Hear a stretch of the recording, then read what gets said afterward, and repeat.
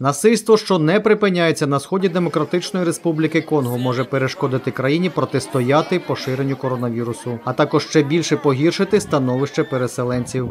Про це попереджає управління Верховного комісара ООН у справах біженців. Через дії бойовиків останніми роками свій дім вимушено покинуло понад 5 мільйонів конголезців. Це найбільша група внутрішніх переселенців в Африці. В Україні також живе більш як півмільйона біженців із сусідніх держав. Насильство може перекрити цим людям доступ до медичних послуг. Треба переконатися, що тоді, як ми дуже сфокусовані на ковід і правильній реакції на нього, ми не забудемо про інші серйозні проблеми.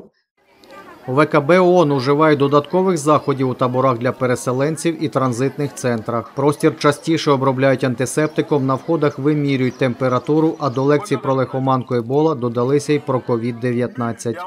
Грошову допомогу переселенцям тепер також надають через мобільні телефони, щоб мінімізувати особисті контакти. Апарати із сім-картами вже отримало майже 6 тисяч осіб. Це мені дуже допоможе. Куплю ковдру. Ще маю сина. Його звуть Капуль. Він не розмовляє. Усі наші речі згоріли разом із домом. На ці гроші також придбаю йому одяг, бо він зовсім без нічого.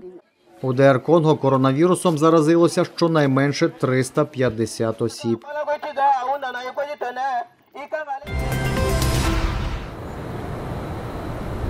Препарат американської компанії Gilead Sciences може допомогти лікувати пацієнтів, хворих на коронавірус. Такого висновку дійшли науковці Національного інституту алергії та інфекційних захворювань США, провівши випробування ремдесивіру. Перевіряли ліки на приматах виду макак резус. Одній групі тварин давали сам препарат, іншим плацебо.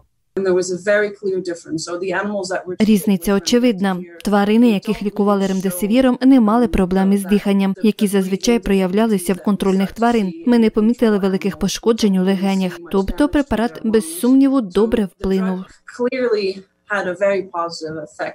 Мавпи, яким давали препарат на ранніх стадіях розвитку хвороби, повністю одужали. Тепер учені хочуть ліпше зрозуміти, наскільки ефективним буде ремдесивір у процесі лікування важкохворих. Це не чарівний препарат, який зможе зупинити пандемію. Для цього напевно потрібна вакцина. Але якщо він справді має потенціал, якщо його використовуватимуть широкомасштабно, то ми зможемо запобігати розвитку хвороби до важкої форми в людей. І сподіваюся, зможемо запобігати смерті. Ремдесивір противірусний препарат, який застосовують проти лихоманки Ебола та інших вірусів, зокрема коронавірусів МЕРС та САРС. Поки він не схвалений управлінням із санітарного нагляду за якістю харчових продуктів і медикаментів США.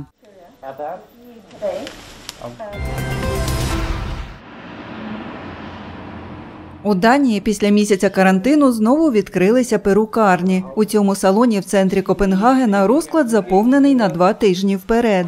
Мартін під час самоізоляції мріяв про зустрічі з друзями і про те, щоб скоріше постригтися. Зазвичай я підстригаюся приблизно раз на місяць. У мене досить коротка стрижка. Щоб трохи вкоротити волосся, потрібно, щоб ми за ріком зустрілися. Перукар Ерік Бернсон уже встиг обслужити клієнтів, які не витримавши стриглися вдома. Виправляти такі зачіски досить складно. Хочу скористатися цією можливістю і сказати тим, хто не стригся вдома, дуже дякую. Майстри й клієнти не надягають масок. Однак усіх інших запобіжних заходів дотримуються. Під час стриження використовують одноразові поліетиленові накидки, а після кожного клієнта перукар дезінфікує інструменти й меблі.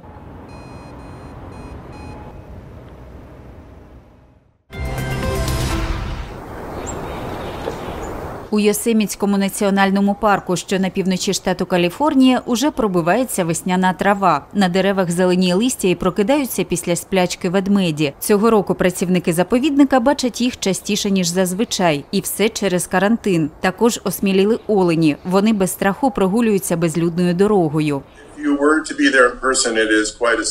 Якби ви опинилися в парку, то побачили б дивовижне видовище, бо зараз там дуже тихо. У заповіднику немає людей, крім доглядачів та кількох місцевих жителів. Це дивовижна сцена. Чуєш шум річки, звуки дикої природи й птахів. Парк відомий своїми водоспадами і гігантськими секвоями. За рік тут буває понад 3 мільйони мандрівників. Туристичний сезон зазвичай триває з квітня по жовтень. Та цієї весни заповідник закритий, тому звірі посмілішали. Президент Йосемітського національного парку вважає, що природа вітає зміни, спричинені карантином. Найпомітніше змінилася поведінка койотів. Вони зараз виходять навіть удень і не бояться. Вони запросто проходять повз людей, а також бродять поруч із будинками.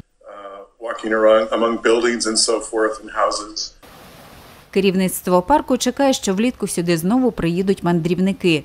Та заповідники, ймовірно, чекають зміни. Люди, напевне, муситимуть дотримуватися соціального дистанціювання. Це позначиться на наповненості готелів, а також на роботі ресторанів та інших закладів. Також тут поменшає персоналу.